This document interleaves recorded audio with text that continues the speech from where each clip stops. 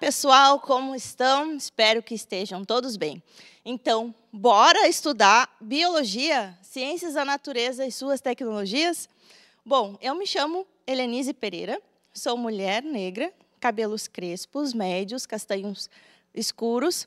Estou vestindo a camiseta do programa de cor magenta. Aqui no estúdio nós temos um longo painel branco e um monitor e as nossas intérpretes de Libras, professoras Suzana e Lucimeia. Partiu passar? Então, nossa aula de hoje, aula número 16, filho de peixe, peixinho é. Bom, aqui tem para vocês, tá, minhas redes sociais. Então, se vocês tiverem alguma dúvida a respeito da, da aula, alguma sugestão, crítica, tudo bem-vindo, tá, gente? Bom, como as características passam de pai e mãe para filho ou filha. Apesar que às vezes sai, parece que todinho a mãe ou todinho o pai, né? Mas as características elas passam então de mãe e pai para filho ou filha. Então, como que acontece isso? Através dos gametas.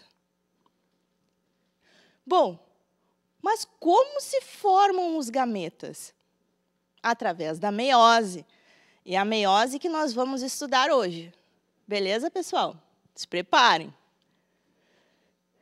Bom, então a meiose, né, ela é responsável pela reprodução, na reprodução sexuada. A reprodução sexuada, ela envolve a produção de gametas e a posterior fecundação, certo? Então, aqui nessa imagem, por exemplo, nós temos dois indivíduos né, representa representados pela, pelo número e letra 2N, que quer dizer que tem dois conjuntos, então, cromossômicos. Então, esses dois indivíduos aqui, através da meiose, vai produzir, então, vão produzir os gametas. Esses gametas produzidos têm metade ó, do número de cromossomos, esses, esses gametas aqui, ó, representados pela letra N, através da fecundação, vão gerar um indivíduo 2N, certo? Então, pega o N do pai, o N da mãe, vice-versa, e forma-se o indivíduo 2N, com dois pares cromossômicos, né? um da mãe e outro do pai. Bom, o que seria então a meiose? É o processo de divisão celular que proporciona a redução do número de cromossomos, à metade. Isso é obtido pela ocorrência de uma duplicação do DNA e duas divisões celulares. Bom, a meiose tem algumas etapas, algumas etapas, algumas fases e também subfases, tá? Então, temos a fase da intérfase. Depois começa, então, a meiose 1. A meiose 1 ela é subdividida em prófase 1. A prófase 1 tem algumas subdivisões também, que é o leptóteno, zigóteno, paquíteno, diplóteno e a diacinese. Depois da diacinese, vamos lá para a metáfase 1, depois da metáfase 1, anáfase 1, depois telófase 1. Depois tem a meiose 2, que está dividida em prófase 2, metáfase 2, anáfase 2 e telófase 2.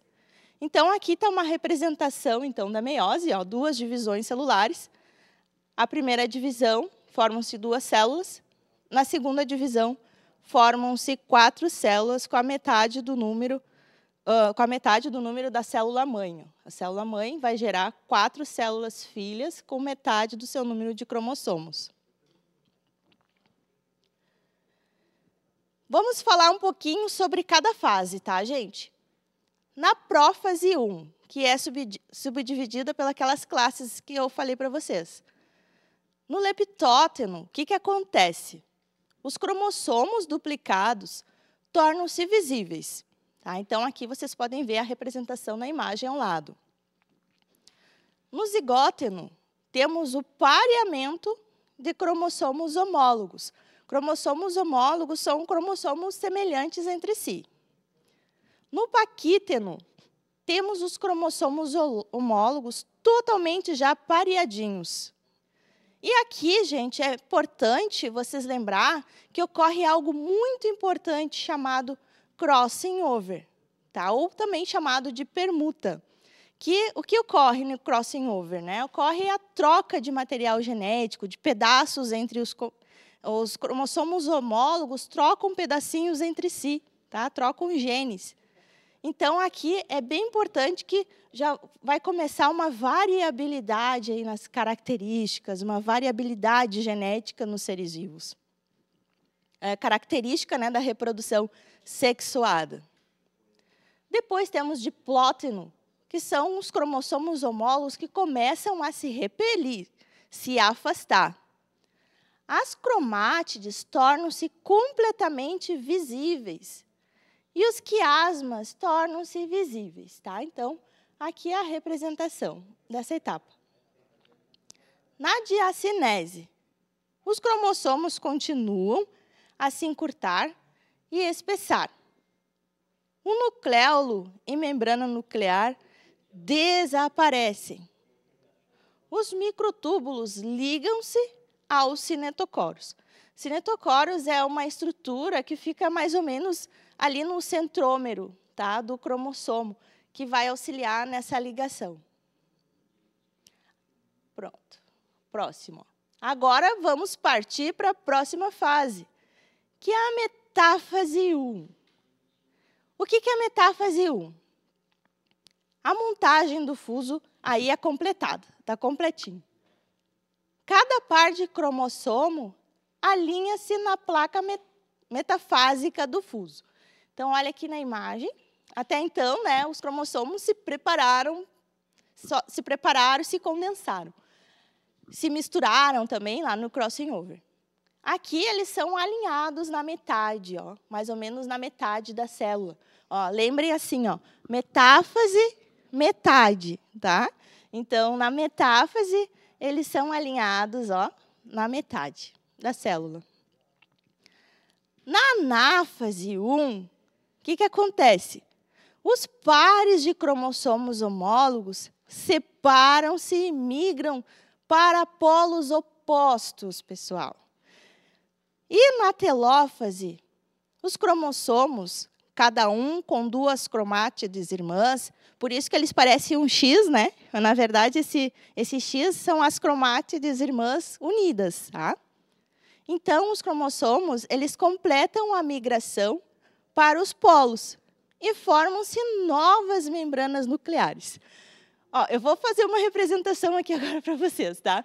Como se fosse uma novela mexicana, onde a Ana e o Teló, ou os mais íntimos podem chamar de Tel. Então a Ana e o Tel eles vão tentar separar aqui os cromossomos.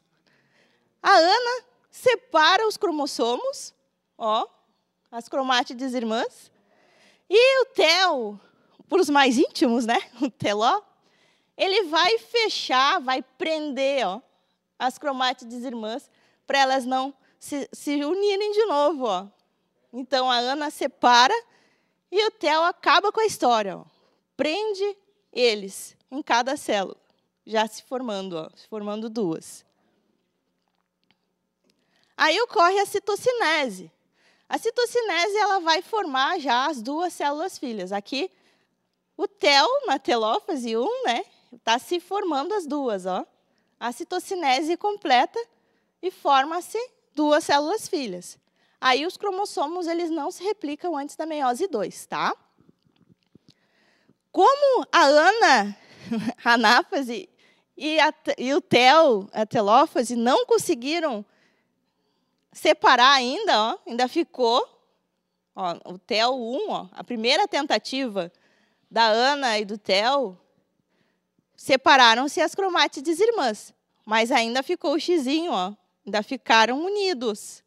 Então, eles vão tentar novamente a segunda vez. Aí nós temos a prófase 2, onde os cromossomos condensam-se e movem-se para a placa metafásica.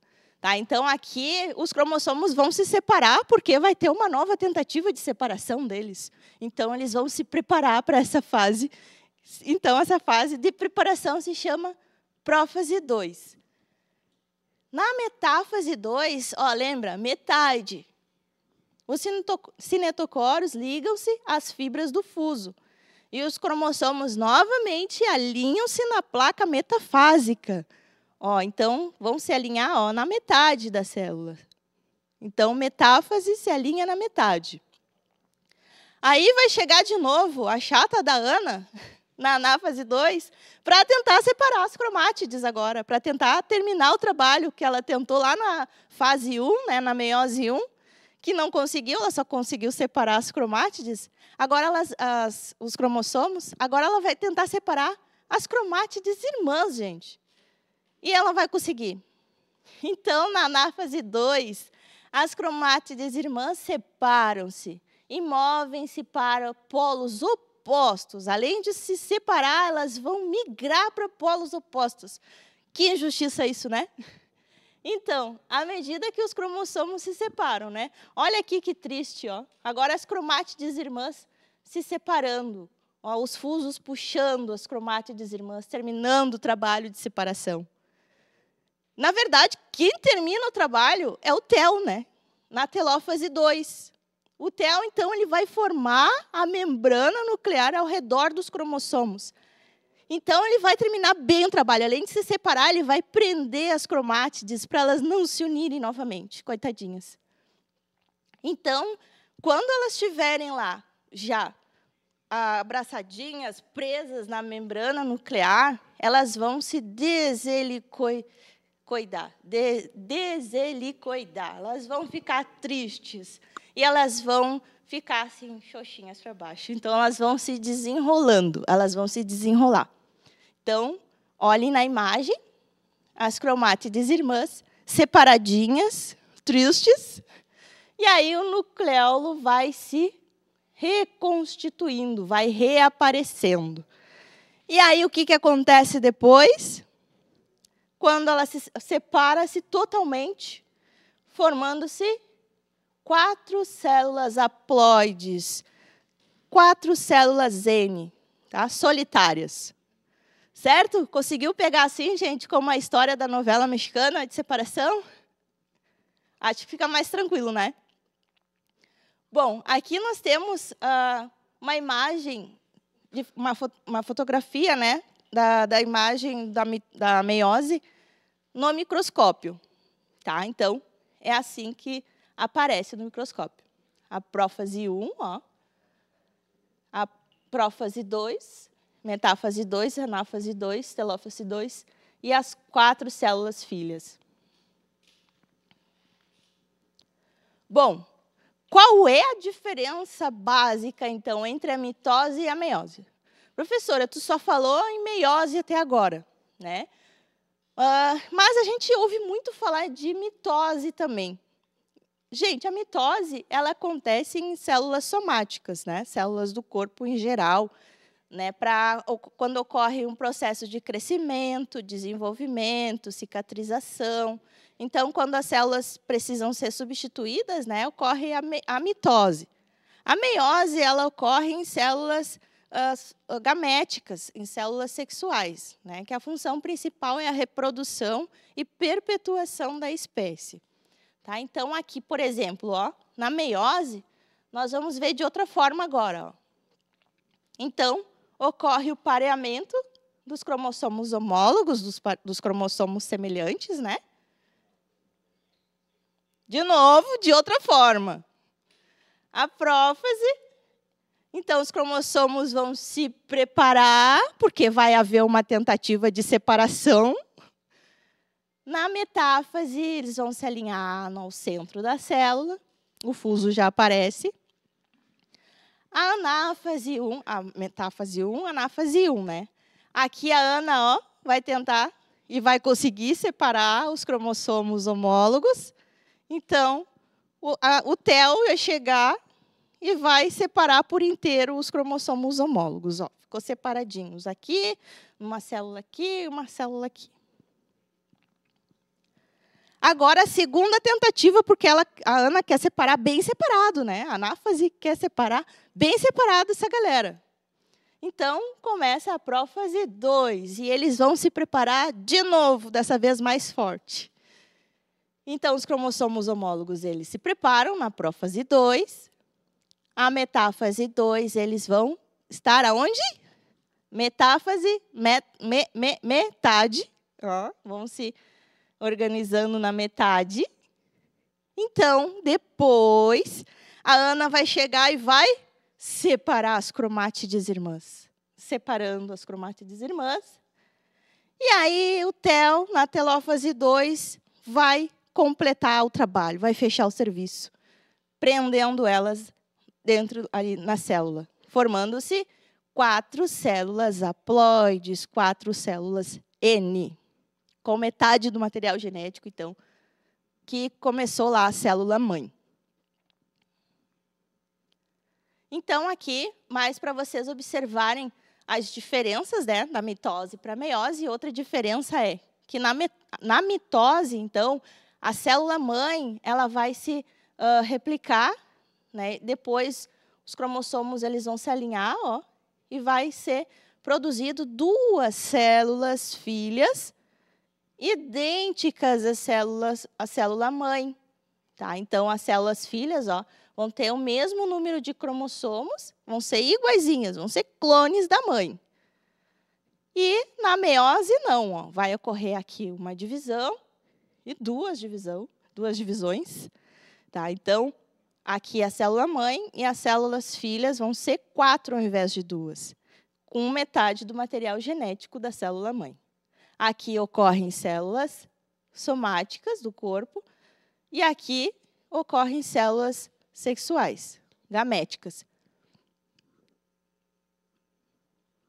Bom, é bem importante também a gente falando nessa história, né? É bem importante prestarmos atenção na segregação independente, né? E a gente não pode deixar de falar na segunda lei de Mendel, né? Que é onde os fatores, que são os alelos, para duas ou mais características né, do pai e da mãe, se distribuem independentemente durante a formação dos gametas e se combinam, gente. Podem acreditar que elas se combinam ao, ao acaso. Então, assim que surgem as, as características novas, né? Cada filho pode ser bem parecido entre si, mas não são iguais. Tirando, claro, gêmeos idênticos, né? Mas no caso assim de filhos, então, ou filhas, eles são diferentes por causa dessa segregação independente. Sempre quando se formarem gametas, eles vão, os alelos, eles vão se combinar ao acaso. Genes em diferentes cromossomos segregam independentemente, são autônomos nesse sentido. Aqui um exemplo, ó. Então a célula mãe Aqui os cromossomos segregando independentemente, ó. Aqui ficou, ó, aqui dois uh, cromossomos, aqui ficou as cromátides azul, azul, vermelho, vermelho. Aqui foi separado por cor para vocês poderem visualizar melhor esse exemplo. Então aqui, ó, ao invés de azul, azul, ficou azul, vermelho, azul, vermelho. Tá? Então segregaram independentemente, trocaram. Né? E isso acontece ao acaso, gente. Além da segregação independente, ocorre também uh, o crossing over, ou a permuta, né? Lá na fase do paquíteno, na prófase 1, né, que é a mistura do material genético, os cromossomos trocam partes, né, eles fazem trocas. E essas trocas também influenciam a, variabilidade genética, aumenta a variabilidade, né, aumenta a diferença nos seres vivos. Então, gente, a meiose é fonte de variabilidade genética tanto na permuta, o crossing over, tanto na segregação independente dos cromossomos homólogos, lá na anáfase 1. Tá? E lembrando, não esqueçam, que em, em organismos com reprodução sexuada é fundamental a formação de gametas com número cromossômico reduzido e que cada gameta deve receber um complemento do material genético para assegurar a perpetuação da espécie.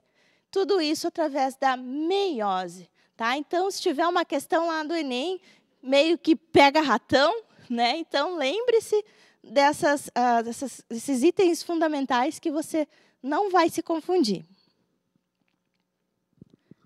Antes de falar aqui a questão do Enem, eu vou dar só uma resumida, então, do que a gente viu hoje no ciclo de vida, então, dos seres vivos, né? Do, das células dos seres vivos. Então, representando né, tudo isso, como é que fica? Um organismo adulto, então, 2N, com dois pares de cromossomos, ele vai, através da meiose, formar gametas, com metade do número de cromossomos. Ó.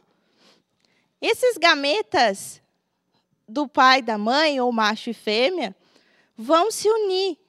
Então, N mais N, né, do macho ou fêmea, do, da mãe e do pai, esses gametas vão se unir através do quê? Da fecundação.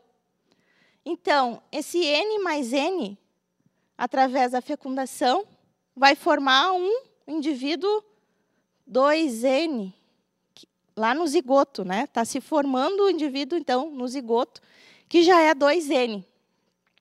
Tá? Então, esse zigoto, ele vai ter que crescer, ele vai ter que desenvolver, né? Então, ele vai crescer e desenvolver através de mitoses. E a mitose vai gerar, então, um organismo adulto. E vai começar o ciclo novamente. Tá? Então, esse é o ciclo de vida dos seres vivos, principalmente então dos seres humanos, no caso que a gente está falando aqui. Questão do Enem, agora sim. Enem 2016. O Brasil possui um grande número de espécies distintas entre animais, vegetais e microorganismos envoltos em uma imensa complexidade e distribuídas em uma grande variedade de ecossistemas. Até aqui foi informação. O incremento da variabilidade, ó, presta atenção, na variabilidade, palavra-chave, ocorre em razão da permuta genética. Lembra que nós falamos da permuta genética, também chamado de crossing over? Então é isso aí. Pega aí, fica a dica nas palavras-chave. Então, a qual propicia a troca de segmentos entre cromátides não irmãs na meiose. Essa troca de segmentos é determinante na. Então, essa troca de segmentos, gente, é, no crossing over, na permuta, ele vai ser determinante para quê? Letra A. Produção de indivíduos mais férteis? Não está relacionado, né, gente? Na verdade, Está mais aqui, vou pular, está mais uh, ah, para deixar em dúvida, aqui na B, ó. Transmissão de novas características adquiridas. Essa troca de segmento é bem importante para a transmissão de novas características adquiridas, mas não é determinante, tá? Então, isso aqui poderia confundir. Letra C. Recombinação genética na formação dos gametas. Então, será que essa troca de segmentos é determinante na recombinação para ter uma nova combinação de genes lá de cromossomo, de cromossomos lá na formação dos gametas. Ó, isso aqui é uma boa pedida, né? Formação dos gametas, troca de segmento, muito boa pedida. Letra D. Ocorrência de mutações somáticas nos descendentes. Então, mutações somáticas, né, elas vão ocorrer nas células somáticas também, né? Então, não é células gaméticas na meiose. E variação do número de cromossomos característico da espécie. Então, a E também não tem nada a ver, foge totalmente do assunto. Então, qual que vocês escolhem? Letra B ou letra C? Ou letra A, letra D, ou a E, né? Vai que gostou da E. Bom, gente, é, mesmo que vocês tenham gostado de outra, a resposta certa é a C, tá? Recombinação genética na formação dos gametas. Bom, então a aula fica por aqui. Espero que vocês tenham gostado da aula. Qualquer coisa pode me chamar lá nas redes sociais e partiu passar. Beijão, forte abraço.